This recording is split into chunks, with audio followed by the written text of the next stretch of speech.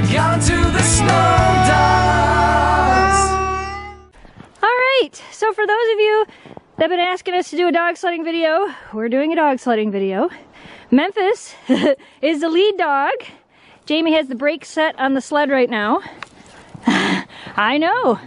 Oakley and Shelby are what you would call wheel dogs because we're only running a three dog sled. This is what a sled dog does. Tell me that dog doesn't want to pull. Yeah, she just wants to go forward. She's like, Memphis is like, hike, hike, hike. this is what we're supposed to do, guys. um, some of you have asked, how do we know which dogs go where? Normally, your most obedient dogs go up front. So the dogs that are going to listen to your commands the most go up front.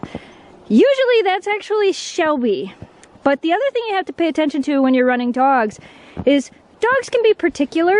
Shelby does not like to run by herself. She likes to have somebody next to her. When she first learned how to sled, she always had Shiloh next to her, so she doesn't run real well alone. So when I actually try to put Shelby up front, she doesn't want to go. She absolutely refuses. She knows what to do, but she doesn't want to do it. So she actually runs with her buddy. For those of you that are concerned about Oakley, we're not going very far.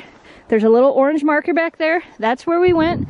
The road, it looks a lot farther away because I guess you can't really see the road, but The what, maybe a half a mile? Yeah, about that. So we've gone maybe a half a mile and that's that's all we're going with them.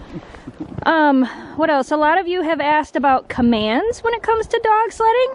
Uh, right is gee, Right, gee. right gee, left is haw. And how do you teach your dogs those commands?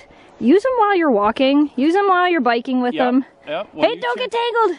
Oh. When you turn right, When you turn right when you're walking, you can say those commands. It's best to train your dogs with an already trained dog, but if you don't have them, there are definitely ways you can do it. These girls are ready to go, so, so ready to run. we are gonna go dog sledding for a little bit more. And uh, look at you, you're so pretty. And uh, yeah, we we got some fresh snow. The trail was good, so we knew we wanted to take them out. They're like, we want to go. Good packy snow. I can build a snowman. Oh, she got Shelby. The line went over Shelby.